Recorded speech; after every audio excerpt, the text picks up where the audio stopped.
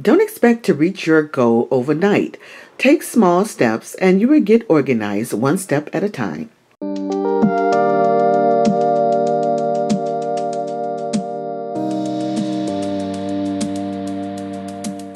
Here are a few ideas to a better organized you for 2020. Home Office. A great filing system is a great area to start small in your home office. Create a system that organizes all your paperwork, such as for school, automobiles, manuals, warranties, etc.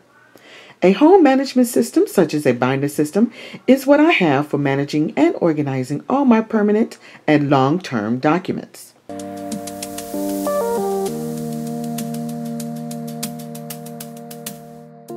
Number two, the kitchen. There are so many areas in the kitchen you can tackle to get organized, from storage containers to junk drawers. A great place to start is your kitchen cabinets or drawers. You may not care what lies behind your closed cabinets or drawers. Out of sight, out of mind, right? And it's easy to feel that way until you want to grab something out of those areas and you can't either find it or something falls. Use glass mason jars to organize your dry ingredients. It's economical, comes in a variety of sizes, and you can easily see the quantity for grocery shopping.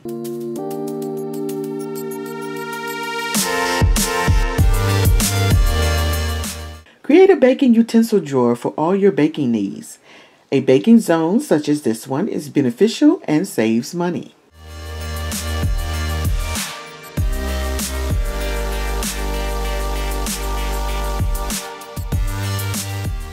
Use shelves to optimize the unused spaces in your cabinets. Great for dishes and glass storage. A great way to organize a drawer, shelves, or open storage is to compartmentalize. Using bins or dividers to keep like items together and it's easy to pull a bin whenever you need it.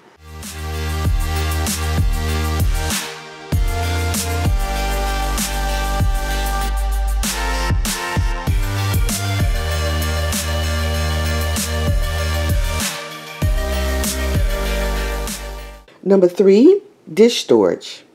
If you like me, you might have about two or more places where you store your everyday dishes, bakeware, and even holiday dishes, if you have the room.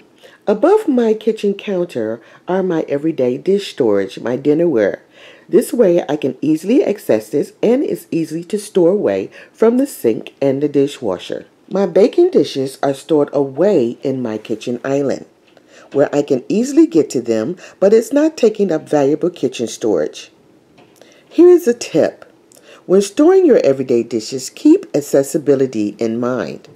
You want to store your everyday dishes in an area where it's easy to access them and store them away and not cause harm to yourself or the dishes when you're ready to use them.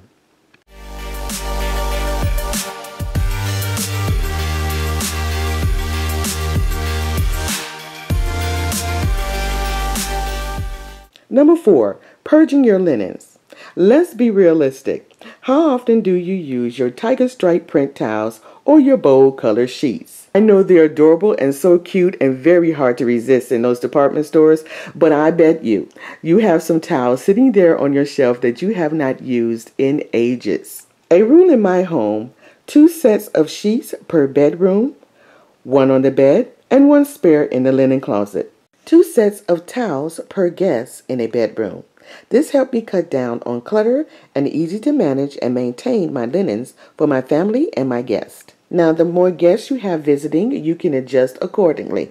Now, here's a tip for those of us who have a small linen closet or live in a small apartment or home. Fold your sheet sets together in a bundle or inside a pillowcase. Uh, both are great ideas if you have minimized space on your shelf. It helps to keep your sheet sets together and available when you're ready to use them. Well, that would do it for me, my friends. I hope I gave you some ideas and inspiration how you can organize your home by using small steps to achieve your goal. If you want more information about the topics we discussed today, they are located in the iCard above. See you on the next one. If you love DIYs, decorating, organizing, and so much more, Click the subscribe button and click the bell for new videos notification every week. Don't forget to visit my other social media platforms for ideas and tips to decorate, organize, or better your home living. Until the next time, my friends, smooches!